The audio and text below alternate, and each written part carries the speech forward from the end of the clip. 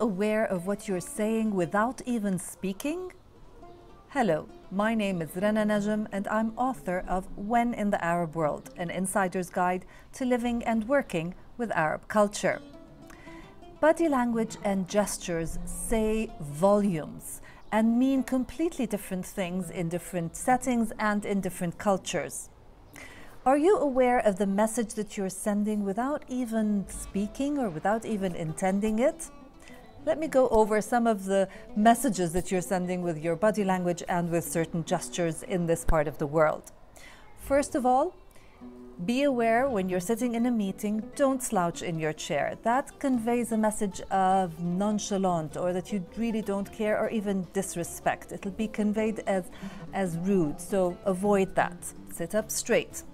Um, and I'm sure you've heard a lot about this. You're not supposed to cross your legs in such a way where the sole of your uh, shoe is facing somebody else. That is considered very disrespectful and very rude. So keep both feet on the floor. And eye contact. Make eye contact when you're speaking with someone. That conveys a message of uh, trust and sincerity.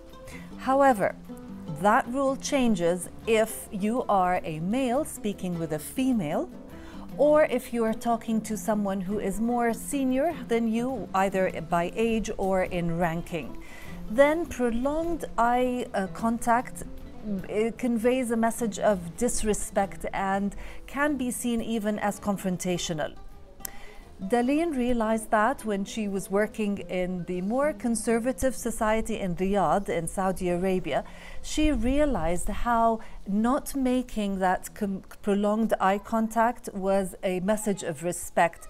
When she spoke with uh, some of the Saudi men that she worked with, even the more senior ones to her in, in terms of ranking and position would not look her straight in the eye. That would be seen as very disrespectful and confrontational.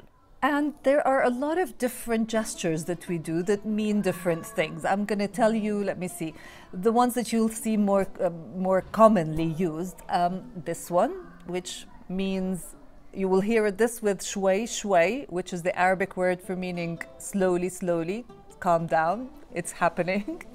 Um, while this in other cultures means perfect or excellent, in the Arab culture it actually means just you wait until I get to you, you'll find that parents use this with their children as a, as a term of warning them. If you don't stop what you're doing, you're going to get in trouble. So be careful how you use this one.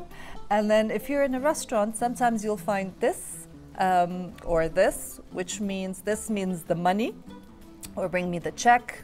This also means the check as well. I can't think of any other gestures that come to my mind right now. If there are any that come to your mind and you're wondering what it means, write to me. Let me know what you think. Oh, and before I go, don't be alarmed by this stern, grumpy look that you will find on a lot of uh, the faces of Arab men in particular. It's not a sign of unfriendliness, it's just a sign of manliness. So don't be alarmed by that. Tell me, what are some of the gestures that are unique to your own culture? I'd love to hear from you. Thank you for listening. Salam.